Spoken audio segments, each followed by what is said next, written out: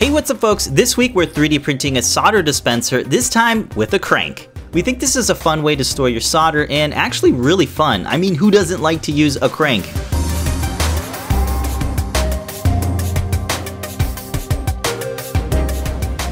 We designed this kit as a free download, links are in the description. The head was dual extruded for printing the eyes and mouth in a different color, but we also have a single color version, you'll just need to print the pieces separately. The crank is a single part that features a print-in-place hinge with a free spinning handle. It's actually the same part from our USB HID project. The cover snap fits on top and can easily come off. It uses the gyroid infill, so it has this neat pattern that makes it a bit stretchy. This lets you see through the top so you can check on the solder. The solder wire is press fitted onto this holder and it rotates freely so you can give it a nice spin. The holder fits inside the enclosure and pops into this socket just behind the ear.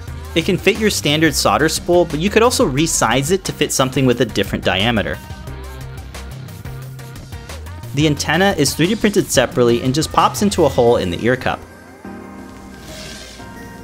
You can use superglue to stick some of the details like these pupils over the eyes. Just a drop is all you need since these are some pretty small pieces. Another piece is this ear cup that attaches to the side cover. Be sure to check out our Learn guide for a full tutorial on this project. Next we can fit the holder into the side cover. Then snap the crank into the drive hub on the end of the spool holder. The cover slides into the enclosure by fitting the grooves through the railing. Then you can press the solder holder into the socket to pop it into place. It's fairly easy to take it apart so you can swap out the solder when it gets low.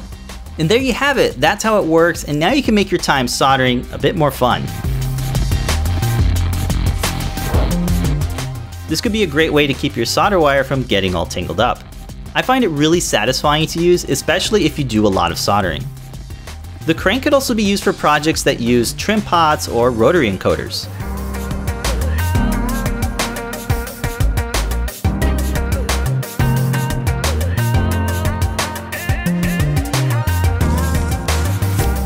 If you have projects you'd like to share with us, we invite you to come on the show and tell. All participants will receive a free vinyl sticker.